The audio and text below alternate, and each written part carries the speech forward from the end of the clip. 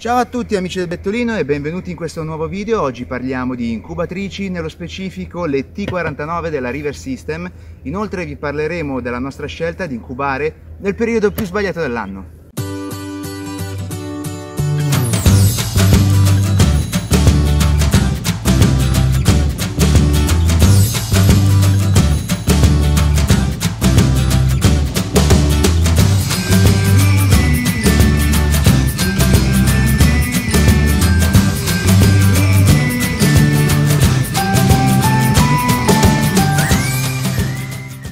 E quindi eccoci ragazzi, questa è la nostra incubatrice che normalmente viene venduta separatamente dal sistema di umidificazione automatica Nebula che riteniamo essere un ottimo elemento in più e eh, lo andremo a vedere insieme successivamente.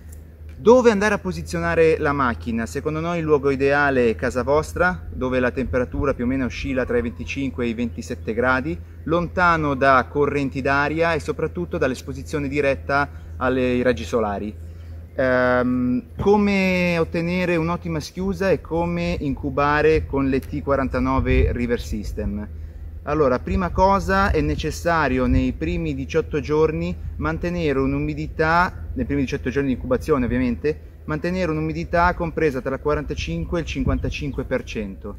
Successivamente invece dal diciottesimo giorno in poi, quindi nella fase di schiusa, aumentate l'umidità tra il 60 e il 70%. Possiamo spingerci anche oltre se stiamo incubando uova di Marans. Questo perché il guscio è nettamente più spesso e un'umidità più alta aiuterà a renderlo più morbido e quindi favorire la nascita dei vostri pulcini. Per quanto riguarda invece la temperatura, la macchina è settata di default a 37,7 gradi, la temperatura necessaria alla schiusa dei nostri pulcini. Questa temperatura è adatta sempre nei primi 18 giorni, dopodiché negli ultimi 3 giorni di schiusa noi consigliamo di abbassare la temperatura fino a 37,2. Altro aspetto fondamentale è quello di garantire alla macchina un normale flusso eh, di circolazione dell'aria. Per questo motivo quindi è vietato andare a coprire la macchina con dei pagni o con dei tessuti sia sopra che sotto la macchina. Utile potrebbe essere invece andare a inserire un pannello in polistirolo così da isolare la macchina stessa.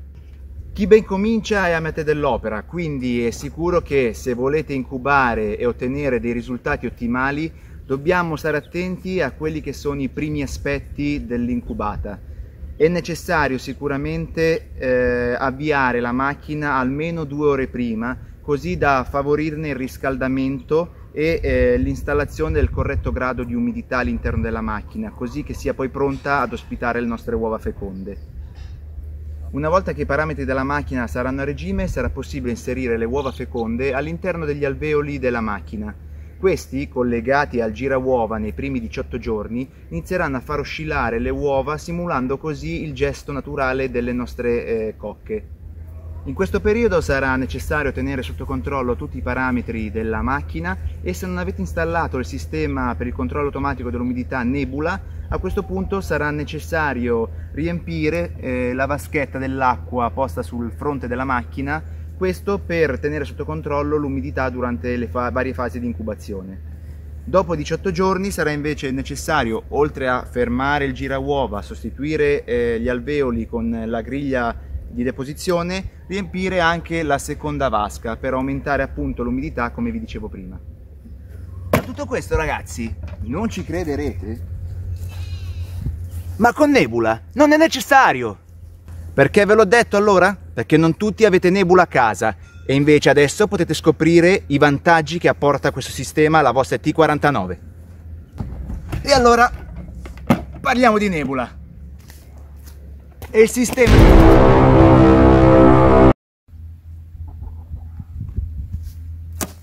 e il sistema di nebulizzazione ad ultrasuoni di River System per il controllo dell'umidità all'interno della macchina in maniera automatica come vi ho già detto prima. Cosa vuol dire in poche parole? Una figata pazzesca, cioè che non farete più niente, nel senso che i due contenitori qui davanti non andranno più rabboccati. Pensa a tutto questo oggettino qui. Viene anch'esso riempito d'acqua verrà impostata eh, la percentuale di umidità che vogliamo settare all'interno della macchina e questo interverrà ogni qualvolta che l'umidità scende al di sotto dell'intervallo impostato. Con il sistema ultrasuoni l'acqua verrà trasformata in vapore che attraverso il tubo entrerà all'interno della macchina a eh, ripristinare il clima eh, ideale alla schiusa. Detto questo abbiamo ottenuto un'ottima percentuale di schiusa quest'anno grazie alla River System anche se abbiamo deciso di incubare nel periodo più sbagliato dell'anno. Questo non vuol dire però non ottenere buoni risultati. Questi sono i nostri pargoletti nati solo sette giorni fa che oggi sono qui un po' liberi di scorazzare al bettolino per iniziare a eh, prendere i primi raggi diretti del sole insomma e restare un po' all'aria aperta. Sono un po' spaventati ma sono bellissimi. Questi sono due Maraz e lui è un piccolo di Araucana e allora abbiamo parlato di tutto non abbiamo parlato di qual è il periodo migliore per incubare. Domanda che tutti mi state facendo in direct. Di sicuro non è agosto. Fa un caldo tremendo io qua sto soffrendo già solo a registrare questo video.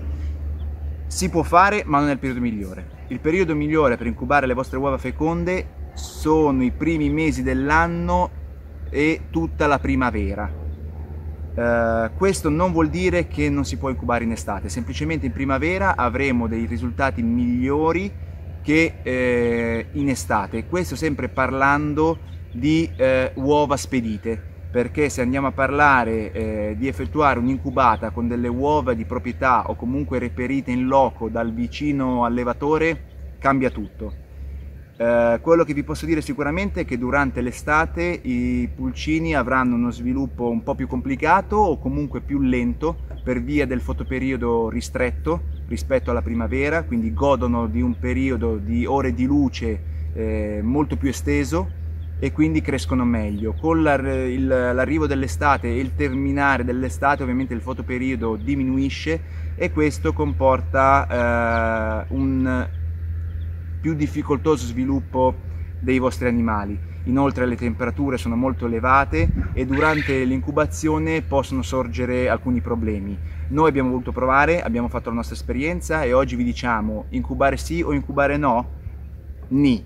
Nel senso che è possibile, soprattutto se siete costretti, se avete la necessità o se semplicemente come noi avete delle uova dove il loro periodo eh, adatto all'incubazione è massimo 10 giorni dalla deposizione e quindi decidete di incubare senza avere grosse aspettative in termini di percentuale di schiusa.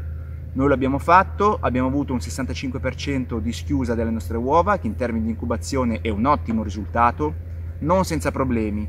Quindi qualche pulcino è nato con le gambe divaricate per via della troppa umidità, eh, la elevata temperatura estiva eh, compromette appunto un po' lo sviluppo e farà sicuramente eh, soffrire, penare un pochettino i nostri animali, quindi vi consiglio di tenerli in luogo fresco e asciutto per quanto possibile, in modo tale da dare loro un ambiente eh, il più possibile ideale alla loro crescita. I risultati sono stati, come dicevo, più che discreti, quindi per noi potete incubare. Se avete modo di farlo eh, nei primi mesi dell'anno per tutta la primavera ed eventualmente rimandare le incubate estive a settembre, sarà sicuramente meglio e avrete un migliore risultato. Ripeto, la differenza si vede su uova che hanno subito un trasporto se avete uova vostre di proprietà o eh, reperite con un trasporto in macchina da voi per pochi metri, pochi chilometri da un allevatore di fiducia, sicuramente potete incubare con tranquillità aspettandovi anche buoni risultati. Certo è che nessun allevatore serio vi spedirà le proprie uova durante l'estate, uno perché mi aspetto che avrà carenza di uova perché per via degli ordini precedenti ha venduto gran parte eh, delle uova delle proprie cocche e in secondo luogo proprio per etica professionale perché è cosciente del fatto che inviarvi uova feconde nel periodo estivo compromette sicuramente la uh, schiusa, la percentuale di schiusa perché già il trasporto riduce uh, la fertilità delle vostre uova al 30% senza tenere conto che durante l'estate i galli anche più prolifici coprono meno le vostre cocche e quindi la percentuale di uova fertili sarà molto inferiore a quella che potrete aspettarvi, quindi la quantità di uova bianche sarà sicuramente superiore. Detto questo, penso di aver parlato un po' di tutto, di avervi anche un po' annoiati, per cui ciao ragazzi! Ah, scherzavo, che ciao! Un commento al video, mettete pollicioni in su, registratevi al canale e se vi è piaciuto il video ditecelo, ditecelo nei commenti. Ciao amici del Bettolino! La campanella, la campanella per essere avvisati con le notifiche ogni volta che esce un nuovo video. La campanella ragazzi!